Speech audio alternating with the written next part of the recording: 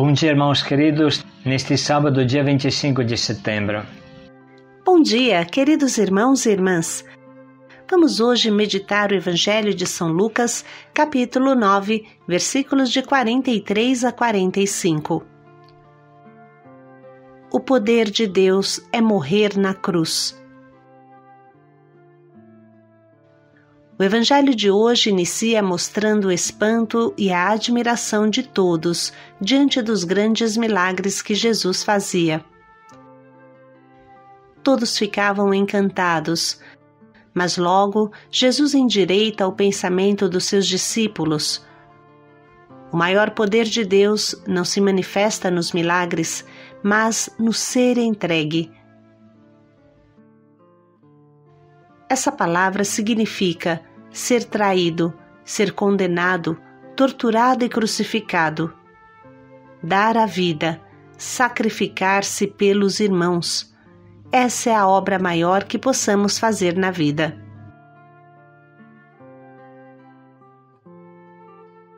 O Senhor esteja convosco. Ele está no meio de nós.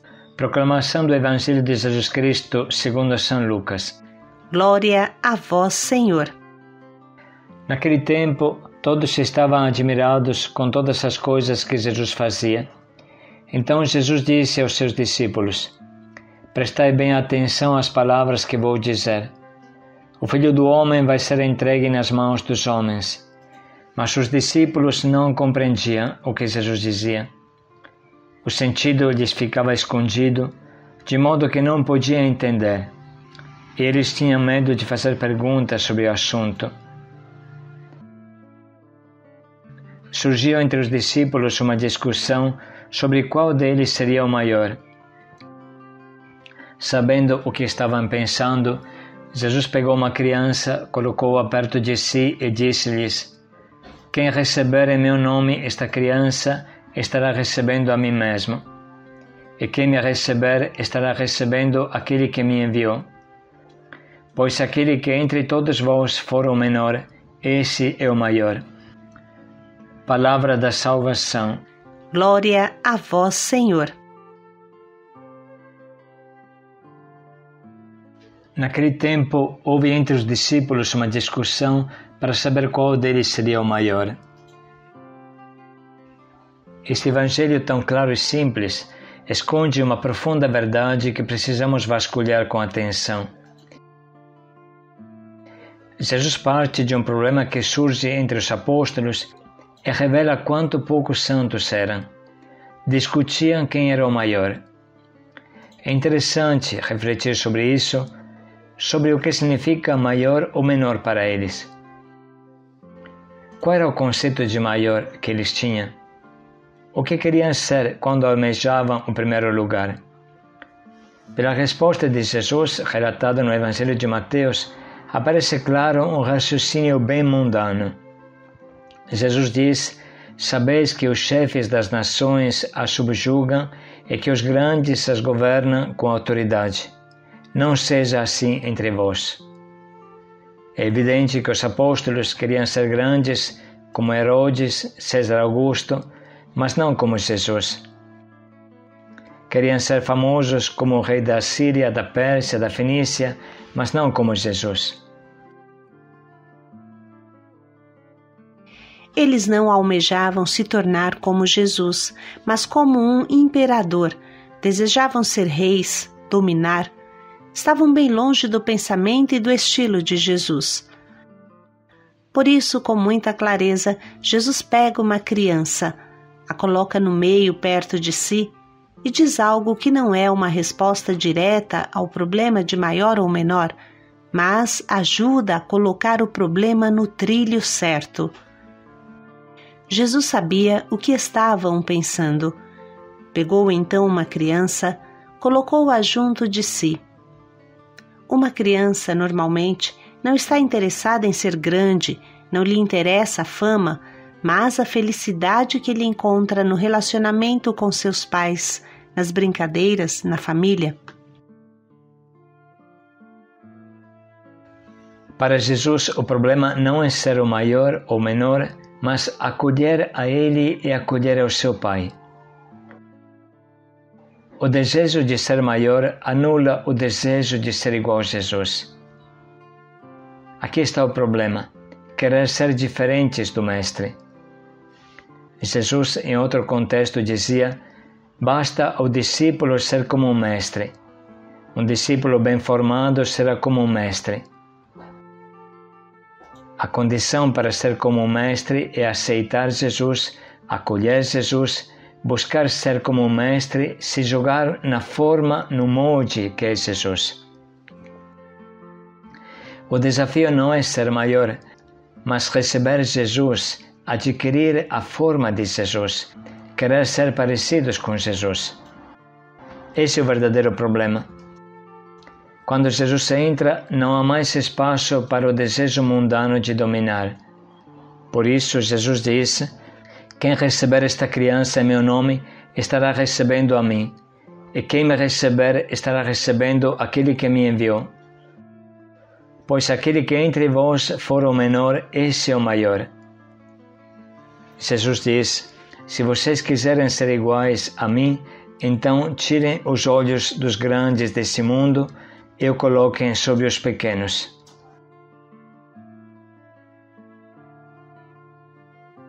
Jesus se identifica com uma criança, com um pequenino. Não é a primeira vez que ele faz isso. Lembremos de Mateus 25. Qualquer coisa fizestes a um desses pequeninos, foi a mim que fizestes. Eu tive fome e me destes de comer eu tive sede e me destes de beber. A identificação de Jesus com os pequeninos é algo forte, claro, comovente, indiscutível em todo o Evangelho. Portanto, quem se identifica com Herodes ou César Augusto mais do que os últimos nunca poderá ser igual Jesus, nunca poderá ser igual ao Pai, Desejar o primeiro lugar é o contrário do amor. Quem busca se anular para dar o primeiro lugar ao outro. Isso não é um simples aconselhamento filosófico, mas uma realidade profunda. O sentido de tudo é o amor, não o dominar. É o serviço, não o explorar. Mateus o explica com muita clareza. Todo aquele que quiser tornar-se grande entre vós, se faça vosso servo. E o que quiser tornar-se entre vós o primeiro, se faça vosso escravo. Assim como o Filho do Homem veio, não para ser servido, mas para servir e dar a sua vida em resgate pela multidão. Pois aquele que entre vós for o menor, esse é o maior. Mais claro do que isso se morre. Repetimos, Jesus diz acolham profundamente o meu modelo, não o modelo de César Augusto. Tirem os olhos dos grandes e os coloquem sobre os pequenos, porque eu sou pequeno e eu estou nos pequeninos. Quem busca os grandes vai na direção oposta da salvação. Mais ainda, vocês me encontrarão dentro de todos os pequeninos desse mundo não dentro os grandes e poderosos. Os pobres são a carne de Cristo, como meditamos frequentemente. Esse princípio fundamental se torna também um caminho de santidade. Vai procurar os pobres e eles te ensinarão a humildade. Vai procurar os pobres e eles te ensinarão a confiança em Deus. Vai procurar os pobres e eles te ensinarão a acolher a Deus. Vai procurar os pobres e eles te ensinarão a pobreza. Vai procurar os pobres e eles te conduzirão a Deus. Eles são os nossos mestres, mesmo que não saibam, como dizia São Vicente. Os pobres são nossos senhores e mestres, porque nosso Senhor está neles e eles em nosso Senhor. Portanto, o Evangelho de hoje, diante da nossa mania de grandeza, nos questiona: quem é o meu modelo? Quem você escolheu de verdade no seu coração? Quem reina no seu coração? Jesus ou Herodes?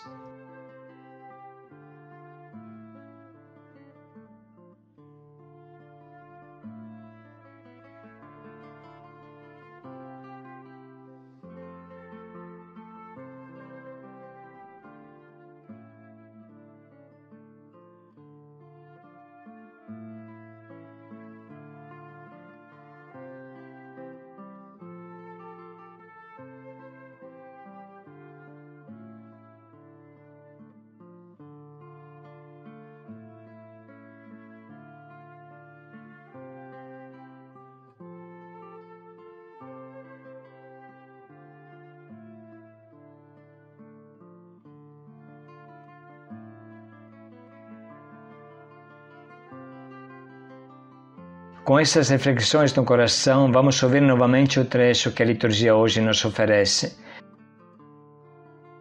Naquele tempo, todos estavam admirados com todas as coisas que Jesus fazia.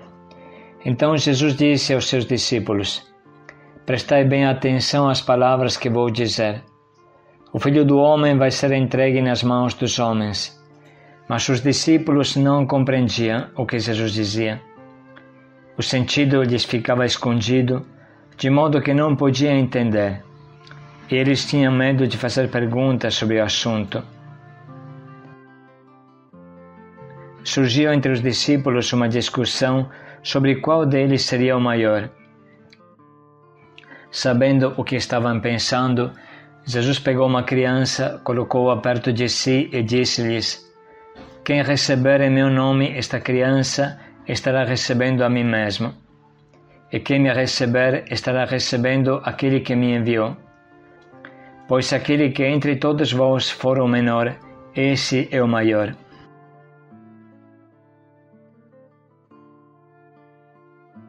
Vamos dedicar mais um minuto para sublinhar e anotar as frases que mais nos atingem.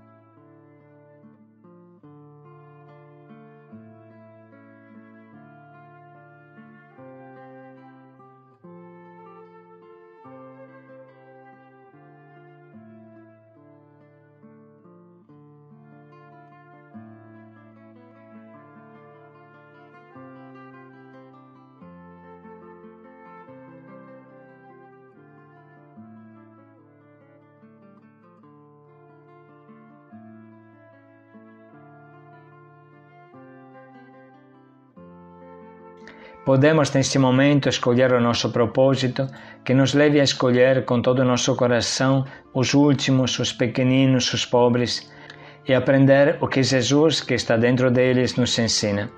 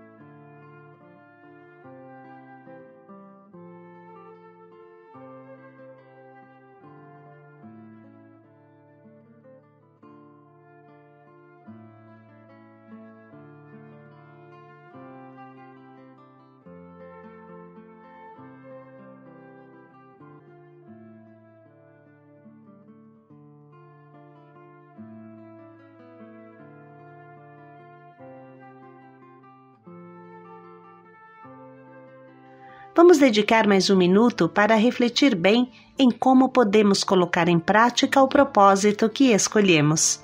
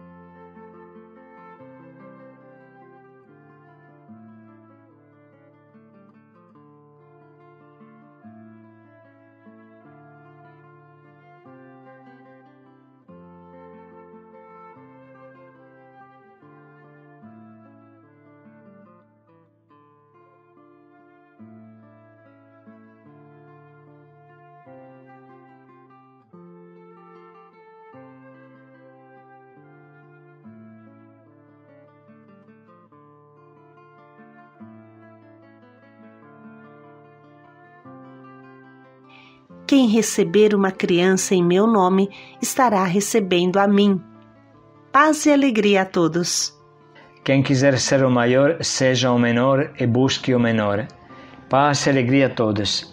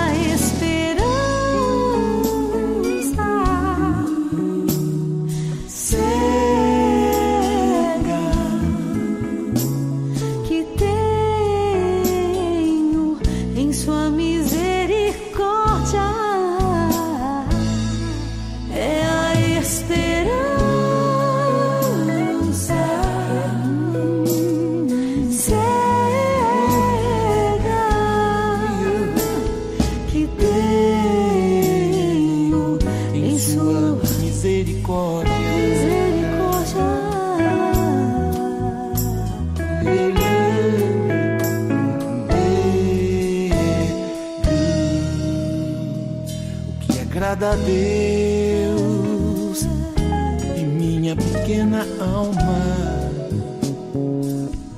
É que eu ame minha pequenez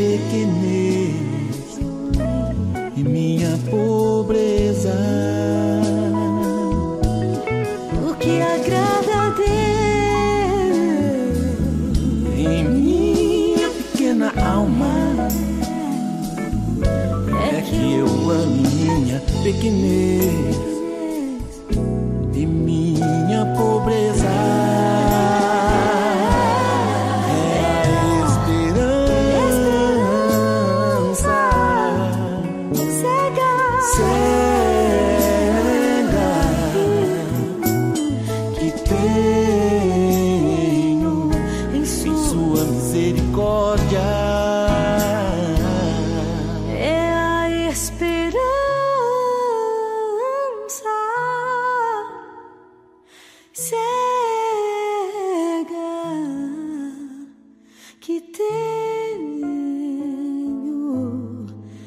em sua misericórdia